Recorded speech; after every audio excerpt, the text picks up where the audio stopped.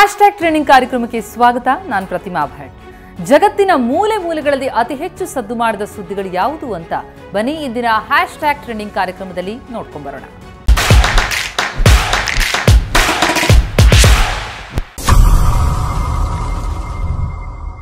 ವೇಶ್ಯಾವಾಟಿಕೆ ಅತ್ಯಂತ ಪುರಾತನ ವೃತ್ತಿ. ಆದರೂ ಯಾವ ದೇಶದಲ್ಲಿಯೂ ಈ ವೃತ್ತಿಗೆ ಮಾನ್ಯತೆ ಇಲ್ಲ. ವಿಶ್ವದ ಹಲವು ದೇಶಗಳಲ್ಲಿ ವೇಶ್ಯಾವಾಟಿಕೆಯನ್ನ ಕಾನೂನುಬದ್ಧಗೊಳಿಸಬೇಕು ಅನ್ನುವಂತಹ ಕೂಗು ಕೇಳಿ ಬರ್ತಾ ಇದೆ. ಈ ಕೊರೋನಾದಿಂದ ಜನ ಕೆಲಸ ಇಲ್ಲದೆ ಪರದಾಡ್ತಾ ಇದ್ದಾರೆ. ವೇಶ್ಯಾವೃತ್ತಿ ಮಾಡುವವರ ಬದುಕು ಇದಕ್ಕೆ ಹೊರತಲ್ಲ. ಈ ವೃತ್ತಿ ಮಾಡೋರು ಅಮೆರಿಕಾದಲ್ಲಿ ಆನ್ಲೈನ್ ಸೆಕ್ಸ್ ಕೇಳಿತಾ ಇದ್ದಾರೆ. ಈ ಎಲ್ಲ ಬೆಳವಣಿಗೆಗಳ ನಡುವೆ ನ್ಯೂಯಾರ್ಕ್ ಪ್ರತಿನಿಧಿ ಅಲೆಕ್ಸಾಂಡ್ರಿಯೋ ಅಕೇಸಿಯೋ ಕಾರ್ಟೇಜ್ ವೇಶ್ಯಾವೃತ್ತಿ ಕಾಯಕ ಅಂತ ಹೇಳಿರೋದು ಸದ್ದು ಮಾಡ್ತಾ ಇದೆ. ಪತ್ರಿಕೆಯೊಂದರಲ್ಲಿ ಪ್ರಕಟವಾದ ಸುದ್ದಿಯೊಂದನ್ನ ರೀಟ್ವೀಟ್ ಮಾಡಿ, ಸೆಕ್ಸ್ ವರ್ಕ್ ಈಸ್ ವರ್ಕ್ ಅಂತ ಕೋಟ್ ಮಾಡಿರೋದು ಚರ್ಚೆಗೆ ಗ್ರಾಸವಾಗಿದೆ. ವೇಶ್ಯಾವೃತ್ತಿಯನ್ನ ಕಾಯಕ ಅಂತ ಪರಿಗಣಿಸಿದರೆ ಸರ್ಕಾರ ಅದಕ್ಕೆ ಅಗತ್ಯ ತರಬೇತಿ ನೀಡುತ್ತಾ ಅಂತಲೂ ಕೆಲವರು ಪ್ರಶ್ನಿಸಿದ್ದಾರೆ. ಹೆಣ್ಣು ಯಾವತ್ತೂ ಗಂಡು ಬಳಸುವ ವಸ್ತು ಆಗಬಾರದು ಅಂತ ಹಲವರು ಅಭಿಪ್ರಾಯವನ್ನ ವ್ಯಕ್ತಪಡಿಸಿದ್ದಾರೆ.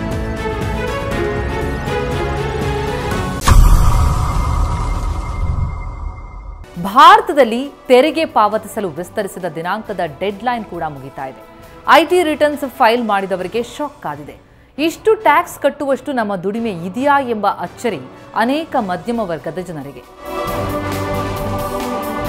ಸಿರಿವಂತರು ಹೆಚ್ಚೆಚ್ಚು ತೆರಿಗೆ ಕಟ್ಟುವಂತೆ ಮಾಡಿ, ಕಡಿಮೆ ಆದಾಯದ ಜನರಿಗೆ ತೆರಿಗೆ ಲಾಭ ಬರುವಂತೆ ಮಾಡುವುದು ಸಾಮಾನ್ಯ ಪ್ರಕ್ರಿಯೆ.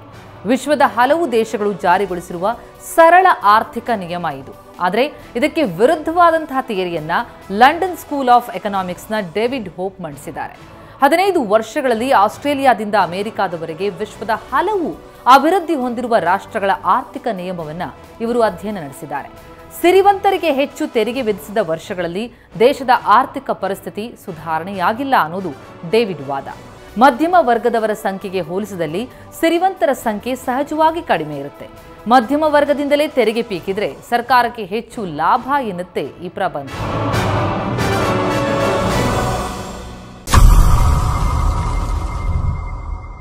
ಈ ಕೊರೋನಾ ಸಾವು ನೋವು ಇದೆಯಲ್ಲ, ಅದು ತರುವಂತಹ ಸಂಕಟ ಅಷ್ಟಿಷ್ಟಲ್ಲ. ವಿಶ್ವದ ಅನೇಕ ಪ್ರತಿಭಾನ್ವಿತರು ಖ್ಯಾತನಾಮರನ್ನ ಇದು ಬಲಿ ತೆಗೆದುಕೊಂಡಿದೆ. ಜೊತೆಗೆ ಸಾಯುವಾಗ ರೋಗಿಗಳ ವರ್ತನೆ, ಮೃತರಾದ ಮೇಲೆ ಅವರ ಅಂತ್ಯ ಸಂಸ್ಕಾರ ಎಲ್ಲವೂ ಹೃದಯವನ್ನ ಭಾರವಾಗಿಸುತ್ತೆ. ಅಮೆರಿಕಾದಲ್ಲಿ ಮೊಮ್ಮಕ್ಕಳ ಕೈ ಹಿಡಿದುಕೊಂಡೇ ಜೊತೆ ಜೊತೆಗೆ ಗಂಡ ಹೆಂಡತಿ ಕೊನೆಯುಸಿರೆಳೆದಿದ್ದಾರೆ. ಎರಡು ವಾರಗಳ ಕಾಲ ಐಸಿಯುನಲ್ಲಿದ್ದ ಈ ಜೋಡಿ ಕೊರೋನಾ ಗೆಲ್ಲುವಲ್ಲಿ ವಿಫಲರಾದರು. ಮೃತರಿಬ್ಬರು ಶಿಕ್ಷಕ ವೃತ್ತಿಯನ್ನ ಮಾಡ್ತಾ ಇದ್ರು. ಅವರಿಗೆ ಸೋಂಕು ತಗುಲೋವರೆಗೂ ಕೆಲಸ ಮಾಡಿದ್ದಾರೆ. ಅವರ ಆರೋಗ್ಯದಲ್ಲಿ ಸ್ವಲ್ಪವೂ ಸುಧಾರಣೆ ಕಾಣದಿದ್ದಾಗ ವೆಂಟಿಲೇಟರ್ ತೆಗೆಸಲು ಮಕ್ಕಳು ನಿರ್ಧರಿಸಿದ್ದಾರೆ. ನೆಮ್ಮದಿಯ ಸಾವು ಬರಲೆಂದು ಮಕ್ಕಳು ಬಯಸಿದ್ದಾರೆ. ಅದಕ್ಕೆ ಸರಿಯಾಗಿ ಮಕ್ಕಳ ಕೈ ಹಿಡಿದೇ ಈ ಜೋಡಿ ಕೊನೆಯುಸಿರೆಳೆದಿದೆ.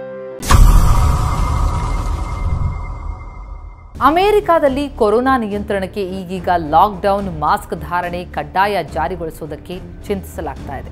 ಕೆಲವೆಡೆ ಮನೋರಂಜನಾ ಚಟುವಟಿಕೆಗಳಿಗೆ ಸಂಪೂರ್ಣ ಬ್ರೇಕ್ ಬಿದ್ದಿದೆ. ಆದರೆ ಸಾವಿನ ಸೋಂಕಿತರ ಸಂಖ್ಯೆ ಹೆಚ್ಚುತ್ತಲೇ ಇದೆ. ರಿಪಬ್ಲಿಕನ್ ಪಕ್ಷದ ಆಡಳಿತವಿದ್ದ ಅಮೆರಿಕಾದಲ್ಲಿ ಇದೀಗ ಡೆಮೊಕ್ರೆಟಿಕ್ ಪಕ್ಷದ ಸರ್ಕಾರ ಬರ್ತಾ ಇದೆ. ಟ್ರಂಪ್ ಸ್ಟೇಟ್ ಹೋಮ್ ನಿಲುವಿಗೆ ವಿರುದ್ಧವಾಗಿದ್ರು. ಆದರೆ ಬೈಡನ್ ಬೆಂಬಲಿಗರು ಕೊರೋನಾ ನಿಯಂತ್ರಿಸಲು ಕೆಲವು ಕಠಿಣ ಕ್ರಮಗಳನ್ನು ಜಾರಿಗೊಳಿಸ್ತಾ ಇದ್ದಾರೆ. ಈ ಬೆನ್ನಲ್ಲೇ Rhode Island governor Gina Raimondo ಕೂಡ ಎಲ್ಲರಿಗೂ ಮನೆಯಲ್ಲಿಯೇ ಇರಿ ಅಂತ ಕರೆ ಕೊಟ್ಟಿದ್ರು. ಆದರೆ ಇವರು ಮಾತ್ರ ವೈನ್ ಶಾಪ್ ಒಂದರಲ್ಲಿ ಮಾಸ್ಕ್ ಧರಿಸಿ ಕುಳಿತಿರುವ ಫೋಟೋ ವೈರಲ್ ಆಗಿದೆ. ಹೇಳೋದೊಂದು, ಮಾಡೋದು ಮತ್ತೊಂದು ಅಂತ ಅಲ್ಲಿಯ ಜನ ಗವರ್ನರ್ ವಿರುದ್ಧ ರೊಚ್ಚಿಗೆದ್ದಿದ್ದಾರೆ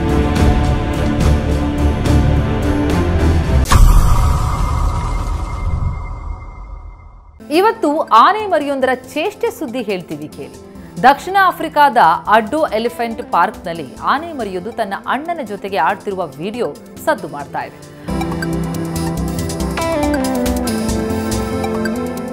ಆ ಆನೆ ಮರಿ ನೆಲದಲ್ಲಿ ಬಿದ್ದು ಒದ್ದಾಡ್ತಾ ಇದೆ. ದೊಡ್ಡ ಆನೆಯೊಂದು ಅದಕ್ಕೆ ಕಚ್ಚಗುಳಿ ಇಡ್ತಾ ಇದೆ.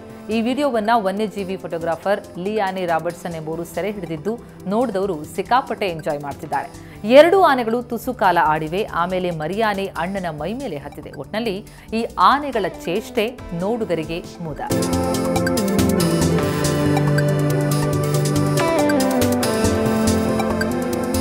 ಇವತ್ತಿನ ವಿಶ್ವದ ಬೇರೆ ಬೇರೆ ಭಾಗಗಳಿಂದ ಬಂದಂತಹ ಸುದ್ದಿ ನೋಡಿದ್ರಿ. ಮುಂದಿನ ಹ್ಯಾಶ್ ಟ್ಯಾಗ್ ಟ್ರೆಂಡಿಂಗ್ನಲ್ಲಿ ಮತ್ತಷ್ಟು ಇಂಟ್ರೆಸ್ಟಿಂಗ್ ಸುದ್ದಿಗಳೊಂದಿಗೆ ಸಿಗೋಣ. ನಮಸ್ಕಾರ.